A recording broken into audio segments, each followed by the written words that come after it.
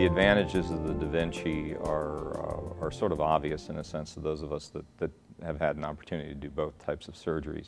The open surgery, you have a, uh, a sizable incision. Uh, it clearly is going to be more uncomfortable.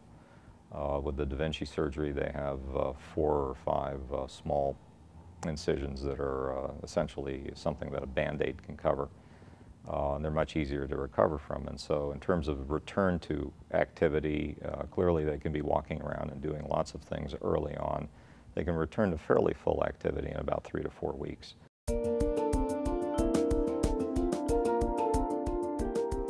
When the patient has gotten through the selection process, now we know that they're going to undergo surgery and we know that they're a suitable candidate for Da Vinci prostatectomy.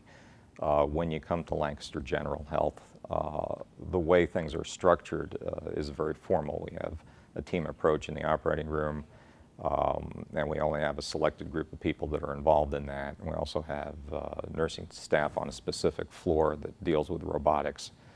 Um, this is a, a, set of circumstances where we really want everybody to be up to speed in what we do and how we do it.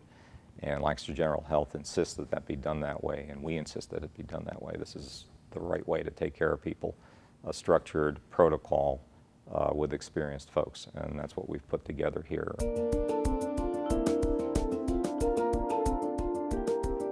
The significance of having the latest technology or the latest robot is not just uh, bragging rights. It's, uh, it's, it enables us as each iteration has come out, it has allowed us to do more in the operating room. It's allowed us to do more complicated cases. It gives the surgeon at the table more control and it gives us more feedback in terms of the information we get from the machine as we're operating. So each of these uh, technologic advances which has been uh, brought uh, into the hospital by Lancaster General Health has had a, uh, dramatic impact on what we can accomplish in the operating room.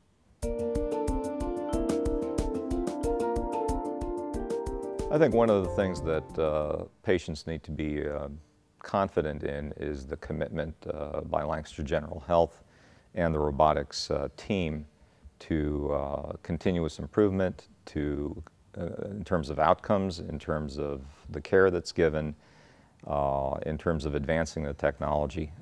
this is a long-term commitment by everyone, and Lancaster General Health is definitely there for the community.